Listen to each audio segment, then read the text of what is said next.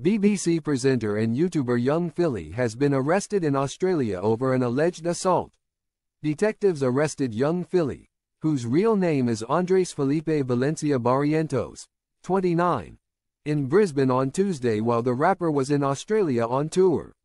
The police sent him to Perth on Wednesday to face a hearing after the alleged attack happened there following a show.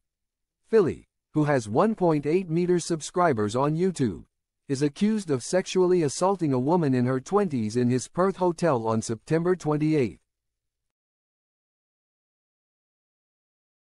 The alleged assault took place after a performance at Bar 1 nightclub in the suburb of Hillarys on the night of September 27. The rapper, who quickly rose to fame, saw him land his own BBC show called Hot Property in 2019, had performed at Havana nightclub on the Gold Coast two days before his arrest. He has been charged with four counts of sexual penetration without consent, three counts of assault, and one count of impeding a person's normal breathing or circulation by applying pressure to their neck.